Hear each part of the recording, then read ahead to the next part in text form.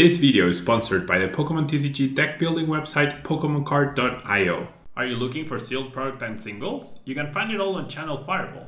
Please use my Tablemon affiliate code when checking out to help support my content. Looking for PTCGO codes? Po Town Store has all the latest sets and promos, instantly delivered to your email. You can use Tablemon code when checking out for 5% off. If you're from Europe, Milly Bods Gaming has a wide array of sealed products, singles, and more. You can use Tablemon code when checking out for 5% off. Card Market is Europe's largest online marketplace for Pokemon cards. Whether you're looking for sealed product or singles, vintage or the latest sets, just follow the link in the description to find what you need. Want to show off your love for Tablemon? Check out my 2021 merch. These new hoodies and shirts are available on Amazon. Click on the link in the description to get yours. Hello everyone and welcome back to a brand new video. We're gonna start our coverage and I'm gonna try to have this video out every Monday with a coverage of what happened the past weekend with the Tablemon Challenge tournaments. Alright, so seasons two has started of the Sword and Shield online tournaments hosted by myself, sponsored by Po Town Store, and challenge number one just took place this past Friday with the new battle style set being legal and look at how much the metagame has um, been affected, right? We have Zacian still as the most popular deck, but not by a lot. We had Rapid Strike Urshifu being played quite a bit. We had Dragapult as well being really, really popular, along with Cinderace, Single Strike Urshifu, so we can see the immediate impact of battle styles, along with Victini, Dragapult, Urshifu, Inteleon, Corviknight, so we can see a ton of influence from battle styles. There were over 100 participants in this first tournament. There were Eternatus decks, Coalossal, Togekiss, so so much VMAXs, right? Other than Zacian, there's VMAX, VMAX, VMAX, VMAX, VMAX, VMAX, VMAX, VMAX, VMAX, VMAX, VMAX, maybe VMAX, VMAX, yeah, so even Salamence, Lapras, Orbeetle. yeah, so a ton, a ton of variety right here in the meta game, and at the end of the day, the top performers were Togekiss, Victini, Dragapult, Inteleon, Single Strike Urshifu did better than Rapid Strike Urshifu, and Togekiss once again. These were the decks in the top 8. We can go down. We can go down to um, the rest of the decks. We have Inteleon, Cinderace is doing well. Uh, the highest placed Zacian, which was the dominant deck um, last season, was um, this Mexican player, Lucky Blounds, one of my students, in fact, 14th place. So you can see the impact, right, between the novelty of the brand new set and people wanting to try new cards. Victini probably keeping some Zacian decks in check, along with a lot of the new cool decks that we're about to see, right? The single Salamence also did pretty well, top 32.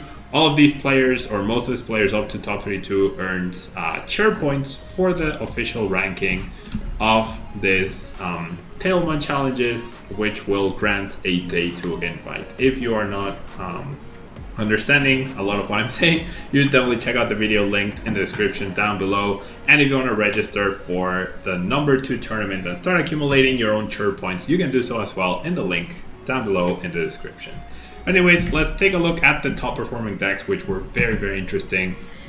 The number one deck played by Shun Ito was Togekiss VMAX with Bronzong. Yeah, definitely not a very um, easy to predict deck, but obviously Togekiss VMAX, high HP, um, and with the attacks with the attack max glide, you can search your deck for any two cards you want. So that allows you to get the Cheryls into your hand, allows you to set up the Bronzong, you can utilize capture energy as well to help with your consistency. And the Bronzong's metal transfer ability makes the Cheryl super good and super impactful in this non-1 KO, um, 2-hit KO format along with giving you the versatility of Zacian and Zamazenta to make sure that you are setting up and having alternate attackers to Togekiss VMAX for extra damage. Togekiss VMAX's free retreat also synergizes really nicely with Zacian. You can go hit for 120, retreat, attack into Zacian, and that really sets up every KO that you could possibly want.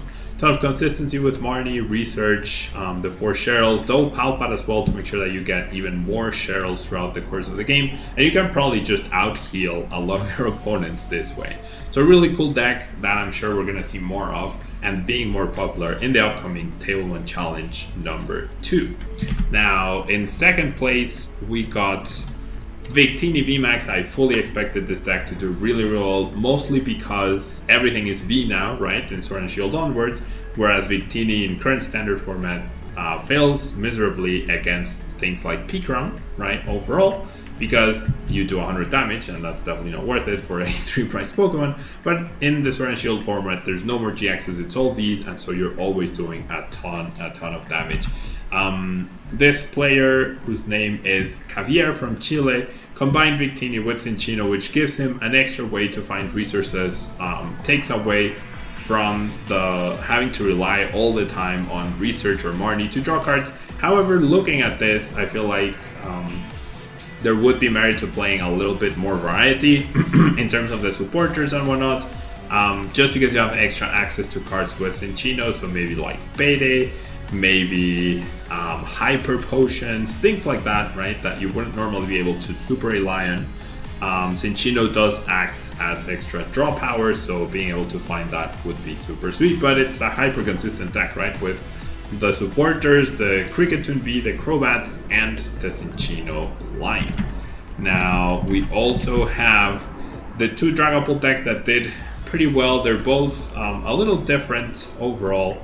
Uh, but Dragapult VMAX is of course the focus so that you can shred past any Pokemon that are annoying you, but Max Phantom allowing you to place damage counters on the bench, along with dealing a good amount of damage to the active is really, really nice. Has the energy disruption and Crushing Hammer, has the Mimikyu to prevent healing as well, and even has the Mimikyu V to buy yourself that very, very crucial turn along with Fan of Waves.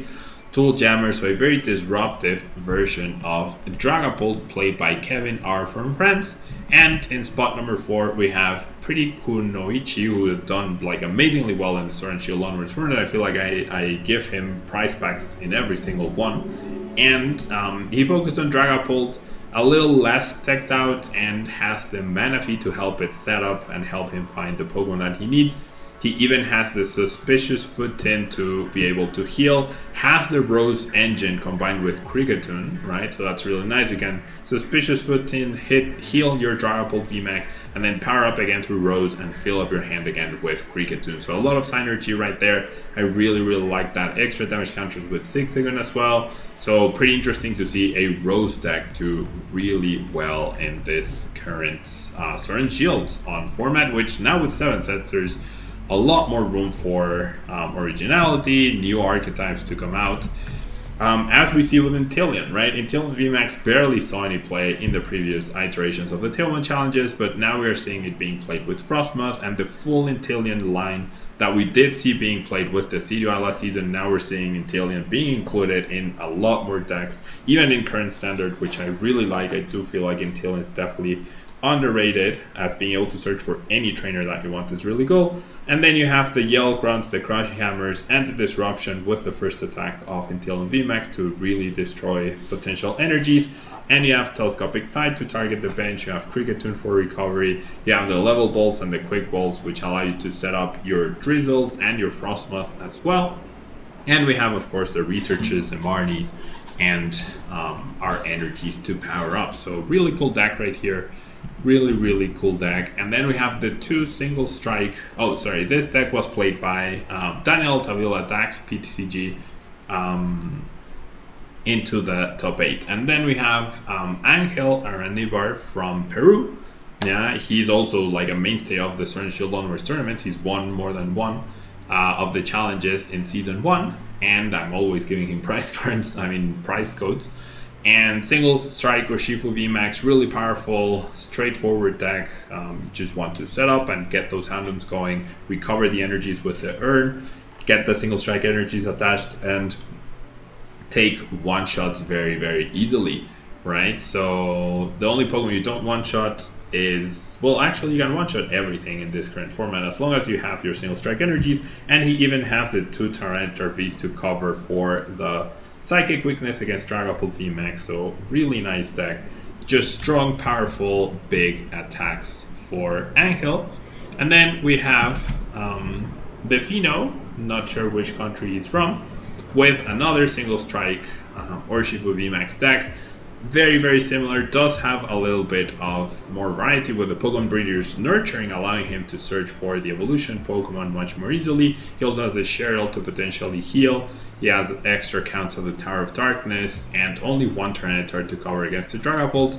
I let me check the bracket. Maybe both single strike Urshifus faced off against Dragapult. One, uh, Pretty Kunoichi did fall to Dragapult, and Angel did fall to um, sorry, the Fino fell to Pretty Cornucci with Dragapult, and Angel fell to the Victini VMAX player. So still pretty cool decks to see make top cut uh, single strike being more successful than rapid strike in this first challenge. And then at spot number eight we have another um, Togekiss Bronzong deck, which is really cool to see by Caleb Rogerson. He's a senior um, player very similar to the other list, less Cheryl, less Pal Pad, a little bit more disruption with a Yell Grunt and the Fan of Wave to delay an opponent's attack, and also with the recovery thanks to Metal Saucer.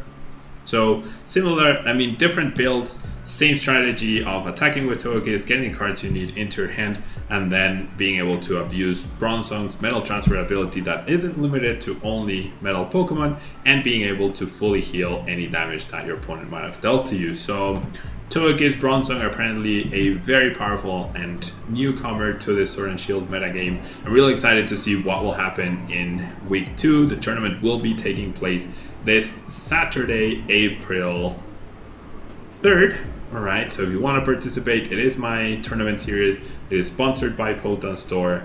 Um, they are providing the prizes and it's really fun. Yeah, I definitely think from the game time I've been able to see, it's definitely more fun than current standard. And if all goes well, I'm gonna be playing the Sword and Shield for onwards format on Twitch in viewer battles. Okay, if everything goes well. So hopefully I can do that. Otherwise, you can um, ask for games in my Discord server. There's not a lot of activity, but if a lot of people start joining and asking for games, I'm sure we could get a lot more interest in this format going. Thanks so much for tuning in. Hope you enjoyed this recap of Tablemon Challenge number one, and I hope to see a lot of you play in Tablemon Challenge number two. Remember, you can just register down below. See you there.